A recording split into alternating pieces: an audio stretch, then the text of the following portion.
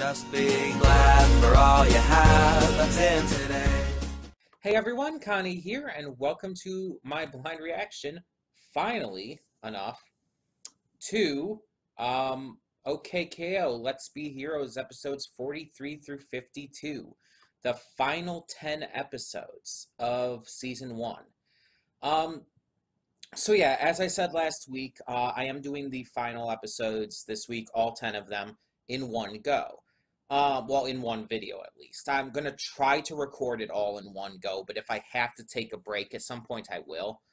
Um, and the reason for doing this is simply because I want to move on to the new schedule. As I've talked about before, due to trying to just kind of cut things back once again a little bit, uh, to make things easier on myself and not push myself, and give myself a couple days off during the week um, as well, other than, you know, just Sunday, which, I mean, I guess technically I don't do much of anything or haven't lately. uh, but I'll get to that a bit. Um, but to give myself some time off and some breaks and stuff from a lot of heavy recording and stuff. Um, and, and just to have a little bit of free space in there that I don't have to worry about.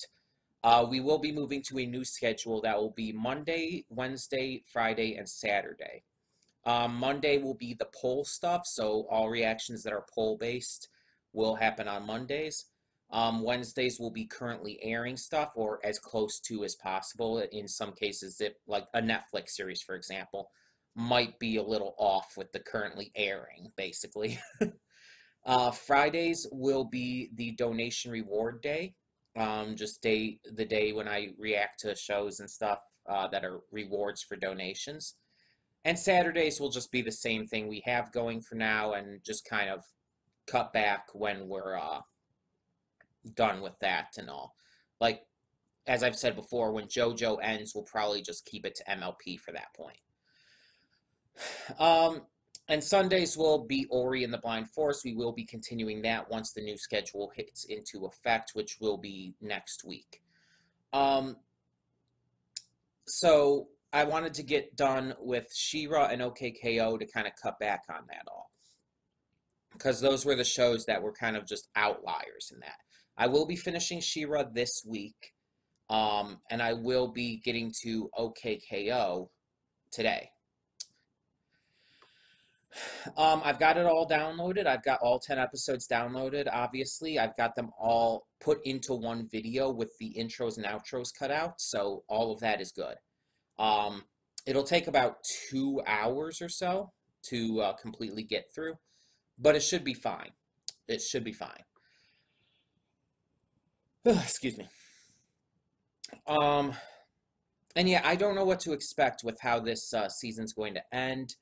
I don't know like where it's going to go at all because again, with this series it's mostly episodic. There's not too much of an ongoing story yet. There's been a little bit of stuff that is definitely moving forward and progressing and everything, such as this uh the mysterious hooded figure and everything. Um but all in all, there's not much of an actual story to it. It's just kind of like, oh, what's the uh, plot of the episode? uh, the kind of enemy of the week or the problem of the week that they have to go through. Stuff like that. Um, and, just like with any episodes of this show, some of these last 10 will be better than the others. Some of them I might not even like. That's just a hazard to get through with this. Um, but yeah, I, am excited to get through all of this. Um, and I'm going to make another announcement video today as well, because I also have to announce a couple other things. But I'm going to say it here as well for those of you who are watching this. Um, I am still moving this month, and we actually got an update on that. Um, tomorrow at noon, my dad is going to my dad is going to go and uh, they're going to close the deal. So he should be getting the key. Everything should be set. Um, we're not moving this weekend. It's it's way too late of notice. We still have way too much to pack. Still, it's it's not going to happen. Uh, but we might be moving next weekend. Um, and, and I just don't know how that's going to go yet. Um, I'm going to work. I, I assume we're waiting until we actually have the key and everything to fully make the decision. But we definitely once the decision is like set in stone, I will let you guys know.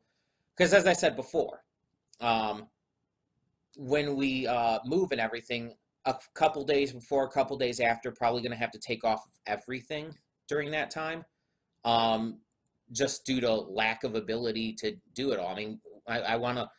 We were going to have to focus on this move, and we have to get everything set up. And I've mentioned before, I want to get like a proper, like better recording uh, situation set up. Because as you know, sometimes when I'm like sitting out here in the living room at this house, uh, the light can shine on my face sometimes, and it's just like really annoying. So I'm hoping I can get something figured out better at the new place. Uh, we'll just kind of have to see. But either way, either way, I am excited to see what we have in store for this last set of episodes. Um, and I just, I, I just really hope it ends up being very good uh, for the most part. Again, I don't expect every episode to be good. I don't expect to like every episode, but I, I hope that at least the mo- majority of them are good.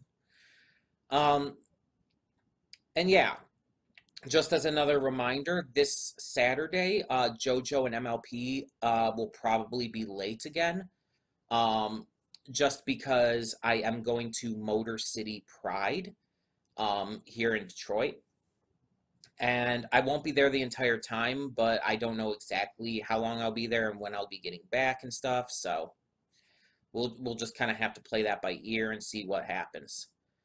Um, but hopefully it shouldn't be that big of an issue. It, it shouldn't be that bad. Um, it, it would it definitely shouldn't be as bad as last week. Um, and again, I'll keep you all updated on everything going on with the moving situation. But for now, we should get into OKKO. So when the screen fades to black, pause this redirect and go to the description below. Follow the link to the reaction, and after you uh, watch it, come back here to the redirect and resume play.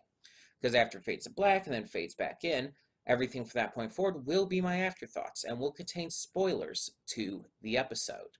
Well, episodes, bunch of episodes.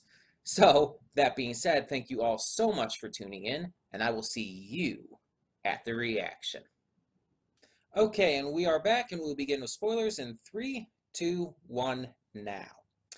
Okay, so KO has finally learned to control his TKO power, along with leveling up to level one. He has finally reached level one on his POW card.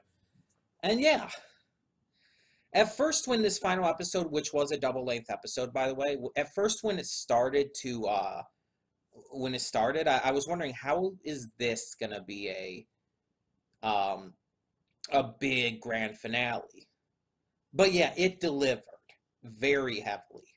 This felt like a season finale.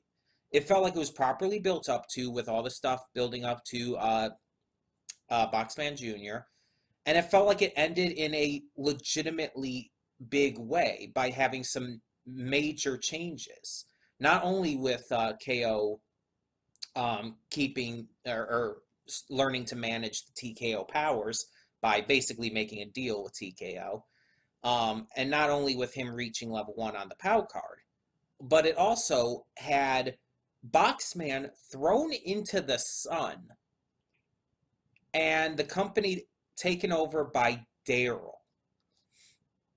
which I really did not expect, like at any point before that episode. But when we when we found out that he had betrayed Boxman and all, it's like it instantly like, yeah, okay, Boxman's done. Daryl would obviously be the one to take over at that point. It, it just made sense. But like prior to that, it's like that thought had never occurred to me because Daryl was always kind of like the joke robot. I mean, compared with all of the others, he was always kind of a joke. He was always kind of silly and ridiculous. Um, I mean, I mean, all the others are a lot more serious about things, and even though they all have their quirks as well, of course, um, they've never been quite as goofy and unreliable as Daryl. But Daryl surprised um surprised a lot of people i think in this finale um with how far he was willing to go he felt betrayed by his well by his father and um he decided to betray him back. Now, the way he said it before he launched Boxman into the sun, um, the way he worded it and everything kind of implies that uh, he was trying to do it to get Boxman to like be proud of him because of how evil it, uh, how evil the betrayal was. So I think to a degree he still wanted Boxman's approval. Now the thing that this uh, brings up as well, though, um, is Boxman just dead? I mean, because you can't survive being launched into the sun. And I understand that OKKO especially works on a lot of cartoon logic, but come on, that's a bit of a stretch. Like, that would be a massive stretch. The only way I think they could bring him back is if, like, somehow before he was launched into the sun, he had uh, set some kind of contingency plan just in case, and a robot version of him came back with all of his memories and, uh, well, just way of thinking and everything. That's the only thing I could think of that would make it work. Unless Boxman himself was a robot, he definitely seemed to be uh, kind of cyborg-like. Um, but if he, maybe he was actually just a straight up robot the entire time. But I don't know because I, I mean I would say it seems like he aged, but at the same time we saw that uh, all of the all of his robot children also seem to age, um, but rather instead of actually aging from those baby forms, um, it's more like he just upgraded them and built them into new bodies and stuff as they mentally matured. So yeah. Um, now I'm not gonna talk about otherwise every single episode we watched. It's just I don't think I'm gonna have a, enough time to do so. Um, and on top of that, I just think that uh, there's just too much to talk about. Most of my thoughts, I, I feel like you could tell what I thought of each of these episodes. Um, so, so I'm not going to go through it. I'll, I'll, just mention maybe a couple things here and there. Um, one such thing I do want to mention, I know it seems silly, but I just think it's adorable and hilarious that Shannon has human feet. I, I, I mentioned it during the reaction. I've seen fan art of that. I've seen fan art of her with human feet. I've seen fan art of her with the you know normal robot feet and stuff. And and I thought it was just like a fun little fan art thing, like an uh, a head canon that maybe she has human feet under that. Um, but apparently no, that's a real thing. And again, as I said in the reaction, it's it, I guess it's a little bit of a spoiler, but that's something I really don't mind that much. Um, now there was a lot of the stuff with um, the action news going on in these episodes. That became a lot bigger of a plot line going into this final arc, um, which I don't mind at all, by the way. I, I think it actually works well. It's just I, I'm surprised a little bit as well that they went so heavy into that. Um, there was the episode where everyone was being turned into skeletons, and that episode was just. I mean, granted, it was a dream and all, but it, it was kind of weird, especially with uh, Real Magic Skeleton barely having a part in it and not having much of a reaction to it. Just kind of saying, like, oh, you'll get used to it. It, it was a little silly, and the, the guy who was selling it was very much a flim flammer. Um, he, he was definitely one of those kinds of characters. Um, which I don't mind at all. I think those are some really fun characters, but it, it definitely, of course, brought me to some uh, memories of the Flim Flam brothers from MLP. It also made me think of uh, the the song Razzle Dazzle from Chicago, the the musical, which if you haven't uh, watched, by the way, um, it's it's fantastic. I, I, would suggest the movie version uh, with Richard Gere and all that. Uh, John C. Reilly is in it as well. It's it's pretty good. It's not the best musical movie I've seen, but it's pretty good. Um, and, yeah, there's definitely a lot to think of that from there. Um, and then there was the one where we found out that Logic, the uh, the barber robot, was actually built by Boxman, which is, I guess, understandable. I guess all robots come from evil sources. Um, but we see that uh, Logic was actually like exceptionally good at making Boxmore um, well, really successful. But Boxman himself had his own plans and kind of ruined everything. Um, so Logic ended up uh, becoming friends with Gar and taking a job as a barber at the plaza. Um, it was a that was a really good episode. Like I really liked that episode, not only because of the depth and development it gave to Logic, but it just it was really well paced. It gave a lot of uh, a lot of history to Boxman and Boxmore, and, and just really felt uh, it like it was written and handled properly. We also had a lot of Dendy in these episodes, and I do not mind that at all. You guys know I love Dendy. Dendy's amazing.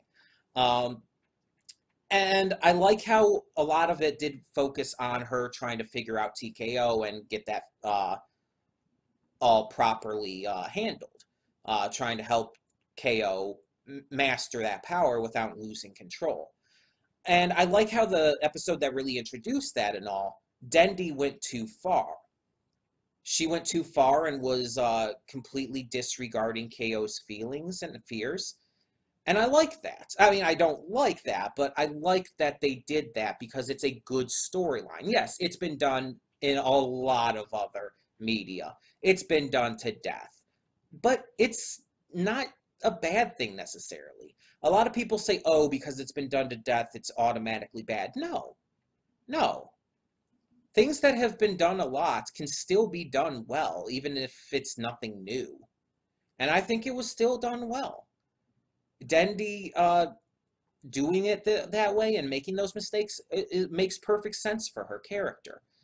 And the way she came to realize it and everything also makes sense for her character. It, it felt like a proper progression for her, and it continues to show how she kind of works from this uh, more scientific mindset to becoming more attuned to human emotion. And I like that. It, it, it's so perfect for her development to continue doing that kind of stuff. So yeah, I think it worked exceptionally well here. Um, we had the van episode, which included the race with uh, Red, and I thought that was that was really fun. Um, it, it's good to see Enid and Red are still hanging out and stuff. I still ship the fuck out of them. um, it, it's good to see that that's an ongoing thing. Uh, there was also another episode in here where it was just a, like a bunch of mini episodes, like all tied into one. They they didn't really seem super important. It was like just a bunch of random little things here and there um, each one having its own kind of focus and its own kind of, uh, well, story going on. Um, not really too much to report there. Uh, but there was also the episode where KO was working with the burrito guy, whose name I cannot think of at the moment, uh, as well as Baby T to find the galaxy truffle uh, to make the galaxy truffle spaghetti for uh, his mom. And I thought that episode was funny, cute, and ridiculous at the same time. The Galaxy Truffles being alive and sentient uh, was a little weird, and the way it ended was a little weird, um, but not bad, just weird. um, I, I, do like though, like at, when they're leaving the cave and everything. It's like, oh, can I take one of the truffles? And just with the straightest face, no. and it's like, okay, bye. I love that. Um, and I like the concept of it too, like the idea behind the episode about like, oh, if you make something with love, then it'll be great. That's not necessarily true, to be honest. As someone who's always been really big into cooking and I mean, I guess cooking shows and stuff as well, you, you it's not enough to make something with love a lot of times. I mean, granted, if you're making something for your mom, yeah, sure, why not? But like, you you can't have that kind of mindset if you're running a restaurant or anything. Um, no, no, that that won't fly. um, so yeah, you kind of have to have like some limits with that kind of ide- ideology.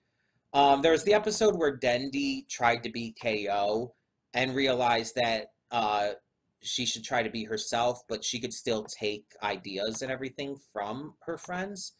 And that was all well and good. That was all fine, I guess. I, I had no real strong thoughts. on it. There's the episode where Real Magic Skeleton and Brandon were having the entire uh, debate about Real Magic Skeleton getting a job elsewhere. And that one was a really cute episode, really fun. I, I like the concept of those two having a bit of a argument and everything over this kind of thing. And I definitely see, I definitely agree with like the specific choices that each character were put into. Real Magic Skeleton wanting more from his life and Brandon being content in complacency. I feel it fits them both exactly well.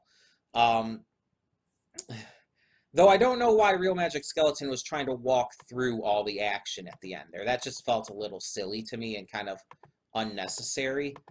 Um, but yeah, all these episodes really worked well together and they really uh, they really they they kind of told a more cohesive story than a lot of these episodes have in the past. There there was definitely more of something going on that progressively worked and worked and uh, well, you know, went through. There was more that was actually happening than in some previous episodes. So I, I appreciate that. All in all, I think that this was a good set of episodes and a great way to end off season one. It again it definitely felt like a fantastic finale. It felt like it actually built up to something like big and some big changes were made. Um i just don't know where it's going to go from here though. I don't know what they're going to do from this point forward. Um but we will continue okko in the future for sure. I just don't know when.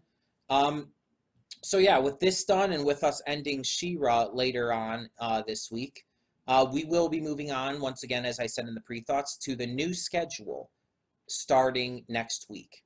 And once again, the new schedule is Monday, Wednesday, Friday, and Saturday for reactions. And then Sunday will uh, will be the Let's Play of Ori and the Blind Forest, which will be returning. Um, not this coming Sunday, but the Sunday after, provided uh, like moving stuff doesn't stop that. Uh because uh, again, I am moving soon. But yeah, either way, uh, I'll keep you guys updated on all of that as well, and we'll figure it out as we go. But in the meantime, uh, tell me your thoughts on these final 10 episodes of OKKO Let's Be Heroes Season 1, and tell me what you thought of this finale and the big things that it it went to uh, include in it. Um, so yeah, thank you so much for tuning in, and for now, I'm Connie, and I'm signing off. See y'all next time. And though you've come through many obstacles